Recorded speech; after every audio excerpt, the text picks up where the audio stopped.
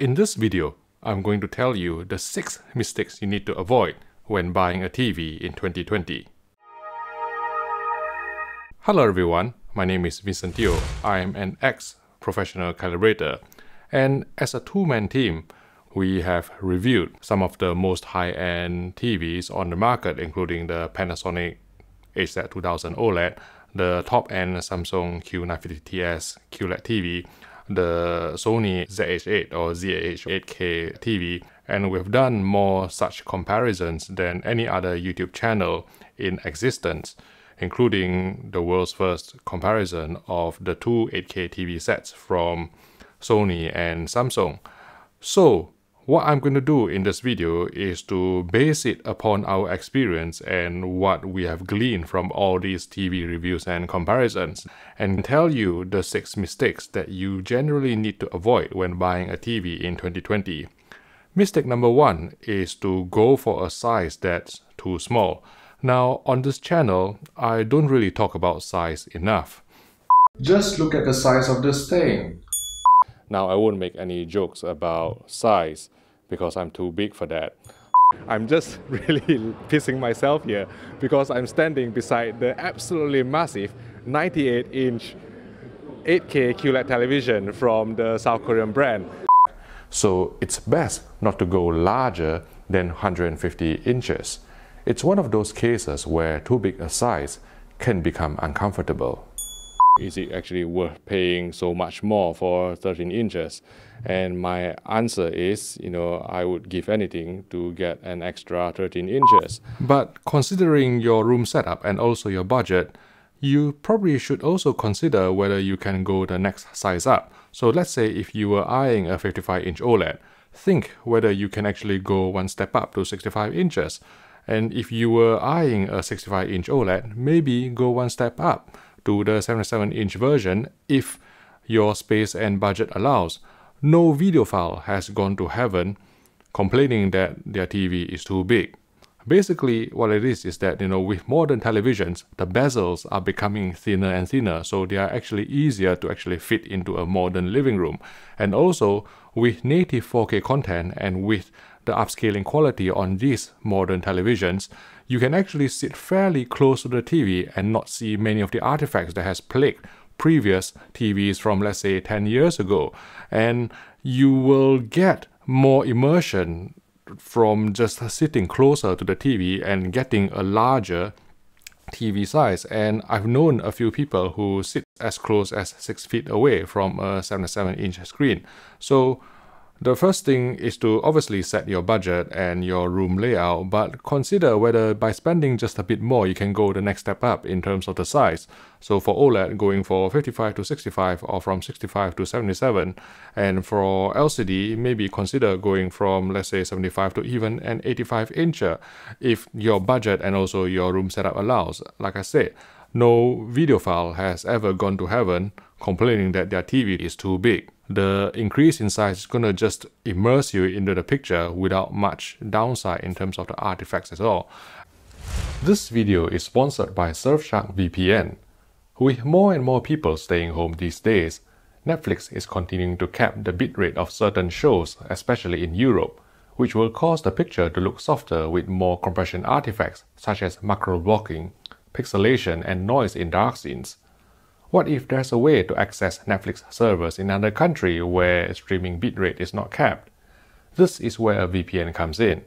Surfshark allows you to stream content from another country without needing you to be physically there, so you can watch Netflix in higher bit rates and better picture quality. You can also get more content that's not available in your region, perhaps the US Netflix library which contains more movie titles. For less than the price of a Big Mac per month, you can use Surfshark on as many devices as you want in your household, all at the same time. There's 24-7 live customer support, a 30-day money-back guarantee, and even instructions on how to set up the VPN on your LG or Samsung Smart TV. And for a limited time only, if you use promo code HDTVTest, you'll get 83% off and 3 extra months free. So sign up today and give Surfshark a try. I'll put the link in the YouTube description below. Thanks again for your support. Mistake number two is to assume that 8K is important. Genuinely, we are in 2020 and 8K is a non entity at all, realistically speaking, because there are no native 8K content on the market at the moment that is available to consumers. Yes, there are some videos on YouTube, but they are so heavily compressed that you can barely tell the difference between an 8K YouTube video from a 4K YouTube video from your normal viewing distance anyway because of just how our eyes perceive this increase, this minute increase in resolution. And obviously there are some phones out there that can shoot 8K video and maybe you are thinking about watching some self-generated content in 8K. Well, self-generated content is generally the principle behind every amateur sex tape.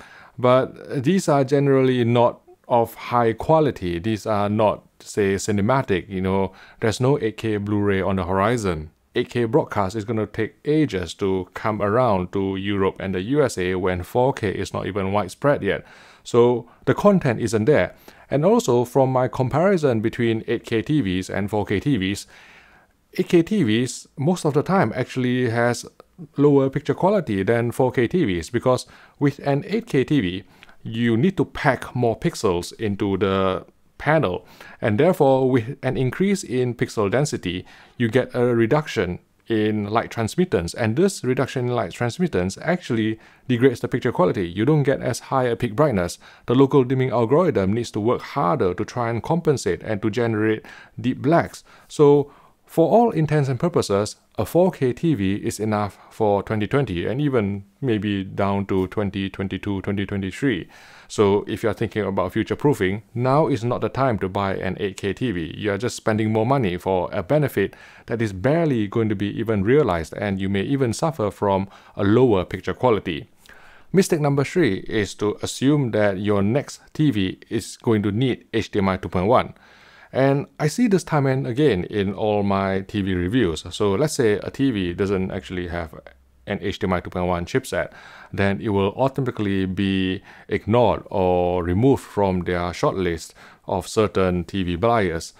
I think that is a grave mistake because HDMI 2.1, realistically speaking, is only really important to gamers.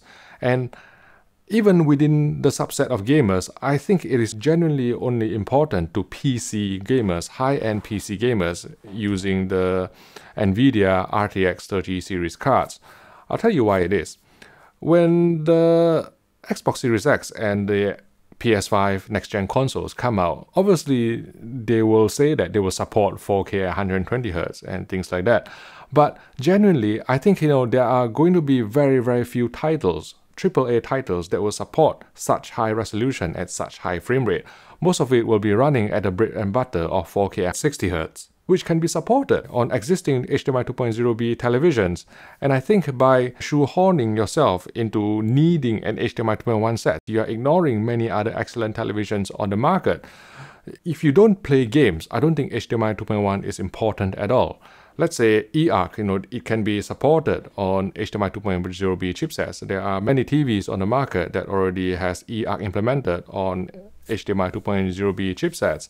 And VRR is another important feature of HDMI 2.1, but that is only important for gamers anyway. So if you don't play games, I'm telling you that there are many excellent TVs out there, which may be cheaper as well than HDMI 2.1 TVs that would be more suitable for your needs. So don't just be blinded by HDMI 2.1 and be attracted to it as if it is necessary for all purposes, for all use cases. Consider your own use case. If you don't play games, you don't really need an HDMI 2.1 television. Let's say on the Sony side, the only HDMI 2.1 television in terms of full bandwidth support and all the other variable refresh rate feature is the Sony XH90 or X900H in the USA. But the picture quality is lower than the XH95 or X950H, which doesn't have HDMI 2.1. Now, if you are not a gamer and you're not likely to play games anytime soon, you should just go for the XH95 because it is the one that delivers better picture quality with more local dimming zones, higher peak brightness, better motion, better smooth gradation, and better near black handling. It is just as simple as that. So don't be shoehorned into thinking that you need HDMI 2.1. Mistake number four is to trust the refresh rates that are being put out by manufacturers. Now, different manufacturers usually use their own proprietary technology or maybe just guesswork to come up with a random number to describe the motion rate. Let's say TruMotion 240, let's say Motionflow XR 360, whatever. What you need to know is that there are basically only two major refresh rates on the market for all consumer televisions 60 Hz and 120 Hz. And if your budget allows, you should always try and go for an 120 Hz television, especially if you go with a larger screen size, which I talked about in the first tip. With a lower refresh rate of 60 Hz, what you are going to be missing is motion interpolation to improve motion clarity. And also, when you actually display 24 frames per second film, if the TV doesn't actually display at 48 Hz, then it will have to do 3-2 pull down, which will result in telecine judder. So those are the two key advantages of having a native 120 Hz panel.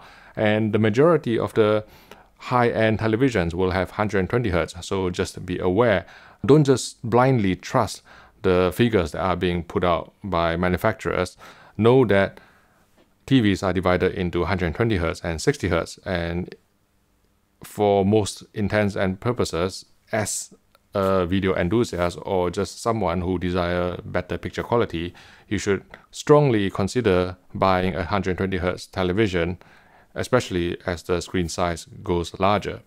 And the fifth mistake that I see many potential TV buyers make is that they think if you buy an HDR television, all HDR content will look good. And that is rarely the case for a couple of reasons.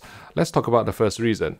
Not all HDR TVs are made equal. So different TVs, especially at different price points, they have different peak brightness capabilities. And what is integral to a good HDR experience, in my opinion, is a high peak brightness and especially local light control as well. So let's say you have a TV that is 300 nits and edge-lit, it is not going to be delivering as good an HDR experience as let's say another TV with full local dimming and a higher peak brightness of 1000 nits. That is just a simple fact. But both of them will be sold as HDR TVs. Both of them will be marketed as HDR capable, but when you buy it home, they will give drastically different HDR experience. So in my personal opinion, from testing all these TVs over the past few years, I firmly believe that you need to spend close to about 1000 pounds before you can get a decent HDR experience. And by decent HDR experience, the TV needs to have full array local dimming for better light control, and the TV will need to hit at least 7 to 800 nits for an LED LCD for reaching that sort of impact.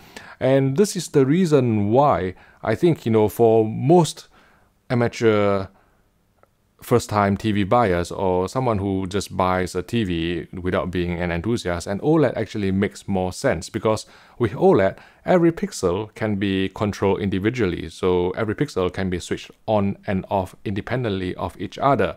And that solves immediately one of the major problems of LED LCDs in that when you display HDR content, the backlight goes up to maximum and blacks get elevated, you get clouding, you get blooming. And this is the reason why local dimming is so important for LED LCDs for a good HDR experience. And OLED solves that by not actually using a backlight. Every pixel can be turned on and off. So with this precise light control, even though OLED is not capable of reaching the very high peak brightness of, say, top-end Full local dimming LED LCDs, they actually generate HDR impact because of the ability to control every pixel. Dark areas can remain dark without any blooming or haloing artifact right next to a really bright speckle of bright highlight detail, let's say the sun, the cloud, the reflections of, let's say, my glasses, things like that. So for most beginners, I think you know OLED is a good start for a good HDR experience. And this brings us to my next and last mistake that many potential TV buyers make is to be scared of buying OLED because of permanent burn-in or screen burn. And I think you know there are a few ways for me to actually try and reassure you. First, I have done and also my colleagues at RTINGS have done a few burn-in tests and we have concluded that for the majority of users where you are actually varying your content, burn-in is not going to be an issue, especially when you take into account the compensation cycles that these OLED TVs will run by themselves when in standby. So if you vary your content, you know, don't watch CNN for eight hours straight every day for four or five years, then you should be fine. And also, I think, you know, personally, I'm that sort of person who wants the best picture quality, even though there is a slight risk of burn-in. I'm the sort of person who, if given the opportunity, would rather spend two minutes with Gal Gadot because that's how long I need, compared with say 10 years or a lifetime with a local lens because OLED's picture quality has generally been proven to be as a rule of thumb, better than LED LCDs for a variety of reasons. And to reassure you even further, there are actually some retailers out there on the market who actually offer warranties against permanent screen burn or burn-in. For example, in the United Kingdom, where I'm based, John Lewis, a famous retailer, has started offering a warranty that covers permanent screen burn or burn-in according to the policy documents.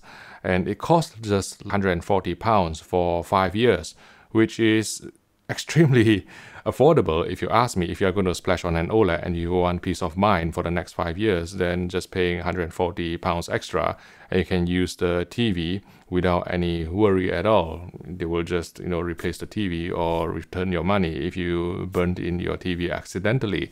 And also I believe in the United States Best Buy also offers a similar type of guarantee or warranty that covers burn-in. So maybe some of you in the States who have experience with this, uh, you can leave a comment in the YouTube section below.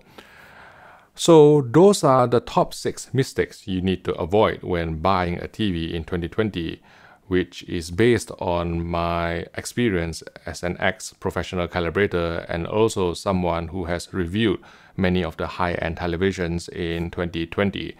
If you would like some more guidance on what TV to buy, I have put a playlist of our technical reviews here if you'd like to watch them and also some of our technical TV comparisons in a playlist here.